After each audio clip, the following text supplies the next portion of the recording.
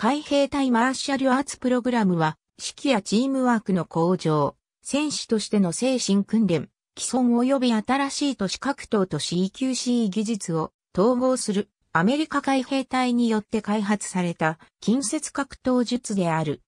2001年に開始したプログラムは海兵隊員及び海兵隊所属の米海軍人員に対して都市格闘、刃物、場合に応じた武器、小銃と銃剣の技術に関する訓練を施す。また、リーダーシップとチームワーク、確実な実力行使を含む精神及び人格の訓練にも重きを置いている。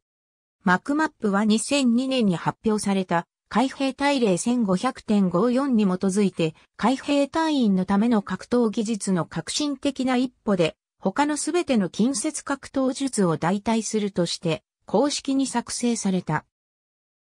マクマップの由来は海兵隊の創設時にまで遡り、海兵上戦隊の戦闘能力をはじめとする。彼らはしばしば銃剣と探検の技術に頼らざるを得なかった。第一次世界大戦の間、これらの銃剣の技術は都市格闘の技術で補われ、残壕戦ではしばしば有効であった。その後、アンソニー・ジェイ・ビドル大佐は標準化された銃剣技術、ボクシング、レスリング、サバット、フェンシングに基づく近接戦闘技術の開発を開始した。またこの期間に、ウォレス・エム・グリーン隊員とサミュエル・ビー・グリフィス隊員は、中国系アメリカ海兵隊員からカンフーの技術を学び、海兵隊中の隊員たちにその知識をもたらした。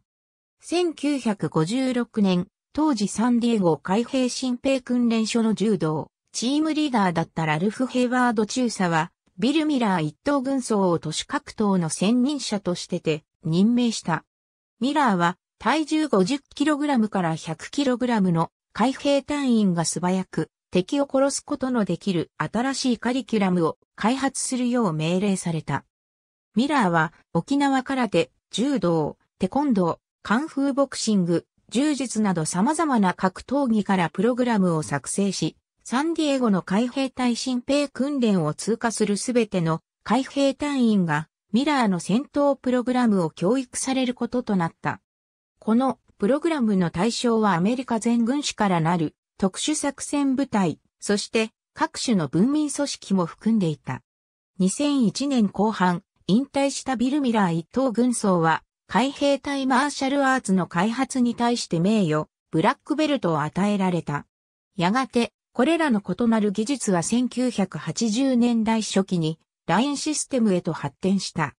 その後にシステムには平和維持活動のような知識能力を必要としない任務における柔軟性と技術が不足しているということが判明し、海兵隊はより効果的なシステムを探し始めた。その結果が1997年から1999年にかけて策定された海兵隊近接戦闘訓練プログラムであった。マクマップは2000年夏、海兵隊総司令官の主導のもと導入された。ジェームズ・ウェル・ジョーンズ司令官は、ジョージ・ブリストル中佐とカードアー総上級総長に、海兵隊の持つおよそ70年の格闘技の経験を活かして新しいマクマップのカリキュラムを作成するよう命じた。2011年7月、カリフォルニア州レドオンドビーチで開催された国際寄付主催、全米武道祭に、サンディエゴ基地のマクマップが参加パフォーマンス。マクマップのベルトこのプログラムは、多くの格闘技のように、色の違うベルトによる昇格システムを採用している。ベルトによって分けられるレベルは、以下の通り。ブラックベルトには5つの追加レベルがあり、専門軍事教育を修了した上官によってマーシャルアーツインストラクターもしくは、インストラクタートレーナーにふさわしいという推薦を必要条件としている。レベル2からレベル6のブラックベルトは保持者がマクマップの権威者であることを示す。これらの条件に加え、それぞれのベルトは独自の条件を必要とする。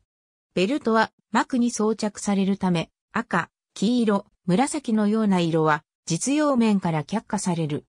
一度グリーンベルトを取得した海兵隊員は、マーシャルアーツインストラクターになるために、海兵隊不評学校等で実施されるさらなるトレーニングコースに参加することができる。マックマップのインストラクターは、他の海兵隊員のベルトレベルを上げるため、彼らを訓練し、認定することができる。インストラクターとしての地位はベルトに垂直につけられた単の島で示される。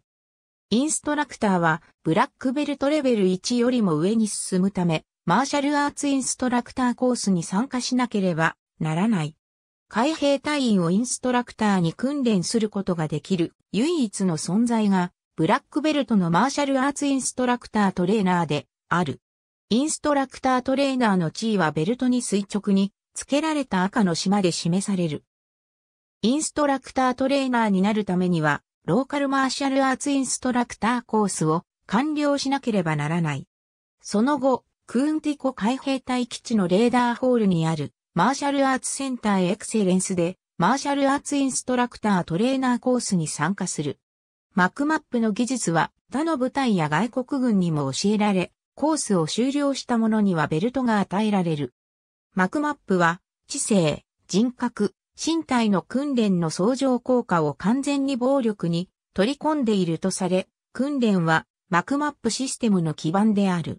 戦闘の効率を高め、海兵隊員の指揮とリーダーシップを高めるために実行されている。戦術の通りマクマップの3種類の訓練とは、知性、人格、身体であり、海兵隊員は体と精神に対して同時に注意を向けることを要求される。安全性も重要であるため、怪我の防止用にマウスピースやパッドなどの装備が使われ、受け身や遅いスピードでの練習などの技術を取り入れている。マックマップで学ばれる技術が海兵隊員に必要であるという理由から、ジェームズ・ティー・コンウェイ司令官は、すべての海兵隊員に2007年内のタンベルト取得を命じた。さらに、すべての海兵隊不評連隊員は、グリーンベルト取得を要求され、他の陸上戦闘職種は2008年内にグレーベルトを取得しなければならない。選手についての学習では、功績を残した兵士個人及び戦闘における主君についての議論や分析を行う。武術文化についての学習では、率先的に戦士を生み出す社会についても焦点を当てる。学習する武術文化の例として、マリーンレーダース、スパルタン、ズールー人、アパッチ族などがある。これらの文化について学ぶことで、海兵隊員は基本的な戦術と過去の例を身につけ、海兵隊の戦士としての精神と自分自身を結びつける。